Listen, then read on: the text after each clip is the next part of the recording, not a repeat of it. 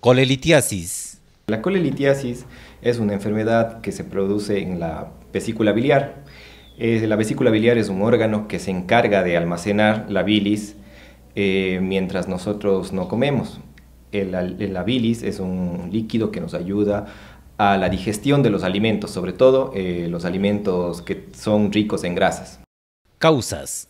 Dentro de las principales causas que generan este cuadro llamado colelitiasis o cálculos en la vesícula biliar, eh, están eh, sobre todo la edad, mayor de 40 años, eh, el sexo femenino, las mujeres que utilizan algún método anticonceptivo mediante hormonas, también los pacientes que son obesos y los pacientes que tienen alguna enfermedad de destrucción de los glóbulos rojos.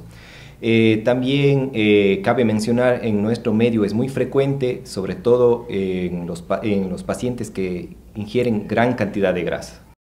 Síntomas. Dentro de los principales síntomas que manifiestan los pacientes con colelitiasis eh, se encuentra el dolor, el dolor que se ubica en la parte superior derecha del abdomen y este dolor puede ser de tipo cólico, en que momento aparece, hay una gran cantidad de dolor y disminuye. Eh, también este dolor puede ser irradiado a la boca del estómago o el epigastrio y también hacia la parte dorsal o hacia la espalda. Eso es eh, con lo referente al dolor, pero también hay otros síntomas eh, que acompañan al cuadro de colelitiasis, que también nos hacen pensar a veces en la gravedad del caso, como son la fiebre, ictericia, es cuando uno se pone amarillo la piel, eh, que nos harían pensar mucho en el cuadro de, de colelitiasis. Prevención. Dentro de la prevención es más bien con el tipo de alimentos que ingerimos. Una, una alimentación sana, una alimentación equilibrada, realizar ejercicio físico, eh, cuidarse o mantenerse con el peso ideal eh, para poder evitar uno de los factores que aumentan el riesgo de colelitiasis. Tratamiento. El tratamiento, eh, debido a que la colelitiasis se produce por una alteración en la vesícula biliar eh, y la presencia de estos cálculos, el tratamiento es quirúrgico. ¿sí?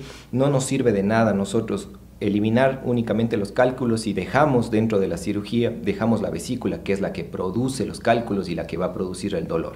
Después de un tiempo va a volver nuevamente el paciente con, con el dolor. Entonces, el único tratamiento con la colelitiasis es el tratamiento quirúrgico.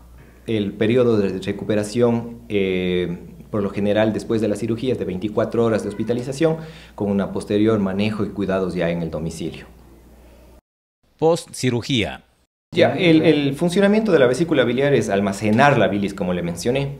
¿sí? Eh, pues a los pacientes poco a poco van a ir acostumbrando su estilo de vida, su estilo de alimentación, en el cual no van a presentar ya dolor. Esta bilis va a pasar directo al intestino, si no se va a acumular en la, en la vesícula porque ya no tienen, y poco a poco hay que ir acostumbrándole al paciente al tipo de alimento que puede ingerir después de la cirugía y también los periodos de, entre comidas que tienen que respetar. Pero por lo general lo que la cirugía quiere llevar es mejorar la calidad de vida del paciente. Quiere decir que después de un tiempo en el cual el paciente se acostumbra al tipo de alimento, a las horas del, que tienen que comer, se va a acostumbrar y va a poder comer los alimentos que antes no podía comer. Por ejemplo, el cerdo, el cuy, los caldos de las carnes. Estos alimentos son, tienen gran cantidad de, gran cantidad de, de grasa, y por lo tanto un paciente que tiene colelitiasis no puede ingerir.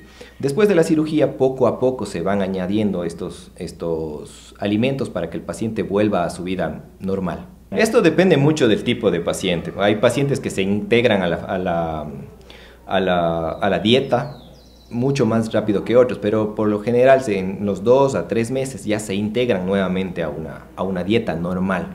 Claro que este paciente operado de, colelitiasis siempre va a tener que cuidarse con cierto tipo de alimentos, que a pesar de que, no, de que ya no haya vesícula biliar, pueden provocar otras complicaciones o otro tipo de dolor producido por irritación o por, otros, por otras causas que también puede perjudicar. ¿Se puede evitar la cirugía? Pues las principales complicaciones va a ser que los cálculos que se encuentran en la vesícula biliar pasen a otro conducto que se llama colédoco. Este conducto colédoco se encarga de llevar la bilis desde el hígado hasta el intestino. Si este, este, este cálculo se logra pasar al colédoco, va a obstruir la vía biliar. El paciente se va a volver amarillo, se va a infectar el hígado, va a tener una complicación muy, muy severa que se llama colangitis. ¿sí? También puede pasar al páncreas, puede obstruir el flujo normal de los jugos pancreáticos y va a producir una pancreatitis, que es un cuadro mucho más complicado que un cuadro de colecistitis. Ante todo, el, el reservarse de realizarse una cirugía, pues lo único que va a llevar con el tiempo es a traer más complicaciones. Colelitiasis en jirón. La mayor parte, llegando casi a un 70% de las consultas que tenemos en cirugía general, se debe a este caso, a colelitiasis. Es la cirugía que los cirujanos general los, eh, los, cirujanos generales más realizamos dentro del, establecimiento. Estamos a, disposición de, la, de, los pacientes de Girón y de sus alrededores para poder realizar este tipo de cirugías en esta patología tan frecuente en este sitio del Ecuador.